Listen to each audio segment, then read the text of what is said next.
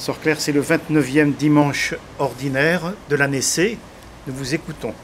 Saint Luc chapitre 18 versets 1 à 8, c'est tout entier sur l'importance de la constance dans la prière liée à la vie de foi. On a ça déjà dans la première lecture, hein, dans le livre de l'Exode, avec un texte bien connu, Moïse, les bras levés vers le ciel pour intercéder pendant que le peuple se bat avec Josué dans la plaine. Et ici, Jésus utilise une parabole et en fait, il nous renvoie à un procédé euh, rabbinique pour donner des enseignements qui s'appelle dans un langage savant hébreu le kol va omer et je vais développer parce que c'est très beau.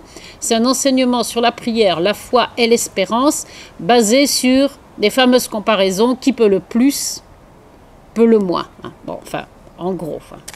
Donc, il s'agit du juge inique et de la veuve importune. Tout le monde connaît ça. Et Jésus euh, commence, ou plutôt ça lui commence en nous annonçant que Jésus leur disait une parabole sur le fait qu'il faut prier sans cesse, sans perdre cœur. Première chose qui est demandée, la constance. Si vous avez la curiosité d'aller dans la deuxième épître aux Corinthiens, au chapitre 12, au verset 12, vous verrez que la première caractéristique de l'apôtre, c'est justement une parfaite constance. Euh, on a l'exemple de notre père, le patriarche Jacob, au chapitre 32 du livre de la Genèse, où Jacob dit Je ne te lâcherai pas que tu ne m'aies béni. Genèse 32, euh, verset 27. Je ne te lâcherai pas que tu ne m'aies béni. Priez sans cesse. Accrochez-vous à votre foi dans la prière jusqu'à ce que le Seigneur, si je puis dire, ait donné signe de vie, puisqu'il nous a dit de prier sans cesse. Alors pour euh, nous faire comprendre l'efficacité de la prière incessante et de la prière acharnée, de la prière constante, Jésus n'encore pas une comparaison, c'est ce que je disais tout à l'heure. Euh, c'est un procédé qui consiste à dire si dans tel cas ça marche, à plus forte raison si le cas suivant c'est avec Dieu que vous traitez et non plus avec les hommes.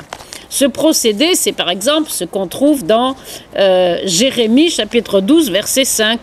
Si tu es fatigué quand tu cours avec des piétons, alors le jour où tu courras avec des chevaux, tu seras complètement crevé. Vous voyez, c'est ce type de procédé.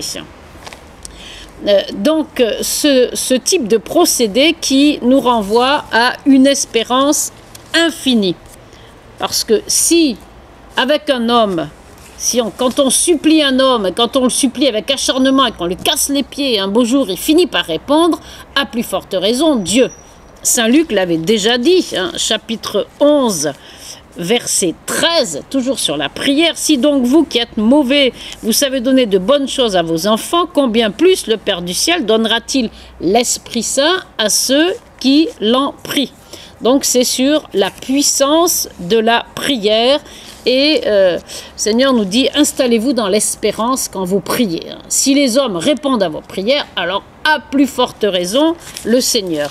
Et il prend l'exemple d'un juge injuste, inique, et d'une veuve qui l'importune sans cesse jusqu'à ce qu'il lui réponde. Parce que que dit le juge au verset 4 Il se dit, j'ai beau ne pas craindre Dieu, les autres, je m'en fiche complètement, mais euh, je commence à en avoir assez de cette veuve qui vient m'importuner. Je vais lui rendre justice pour qu'elle ne vienne pas sans fin me rompre la tête ou me casser les pieds, on dirait. Alors, le Seigneur dit, vous voyez comment ça a fonctionné avec la veuve et euh, le juge injuste. Alors, à plus forte raison, quand vous priez le Seigneur. Ça, c'est le verset 7 du chapitre 18 de Saint Luc. Écoutez donc ce que dit le juge injuste. Dieu ne ferait pas justice à ses élus qui crient vers lui jour et nuit tandis qu'ils patientent à leur sujet, je vous le dis, il leur rendra promptement justice. Alors, en ce qui concerne les élus, hein, euh, la traduction liturgique euh, parle euh, aussi d'élus. hein. Il faut se rappeler que c'est pas Dieu qui en choisit quelques-uns et qui rejette les autres. hein. Il faut s'appuyer sur ce qui est dit dans euh, l'épître aux Éphésiens, premier chapitre, verset 4. Vous avez été élus en lui dès la fondation du monde. Tous nous sommes élus, tous nous sommes choisis. Il y en a qui répondent, il y en a qui ne répondent pas. hein. Mais on est tous choisis par Dieu, par pur amour. Donc, euh, si les élus crient vers lui jour et nuit, il leur fera promptement justice. Alors, euh, sans tarder, dit la traduction liturgique. Il faut se rappeler que pour Dieu, mille ans sont comme un jour. Alors, sans tarder, ça veut dire, vous inquiétez pas, un jour, vous verrez ce que vous allez, vous verrez ce que vous verrez. hein. Vous verrez ce que vous allez voir. Mais en même temps, euh, quand prompte justice ou sans tarder, il s'agit d'un regard d'éternité. Alors évidemment, on ne peut pas mesurer ça. Euh, et le texte se termine par cette question angoissée et angoissante. Le Fils de l'homme, quand il viendra, trouvera-t-il la foi sur la terre? Autrement dit, à quoi on mesure notre foi?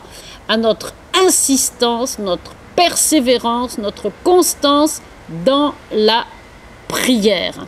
C'est pour ça, je voudrais terminer avec ça, que deux fois dans l'Évangile, il est question de violence, d'une bonne violence pour s'emparer du royaume de Dieu. Il y a Matthieu 11, 12, et puis dans Saint Luc, on va aller dans Saint Luc parce que c'est notre évangile, notre évangéliste de l'année, Luc 16, 16.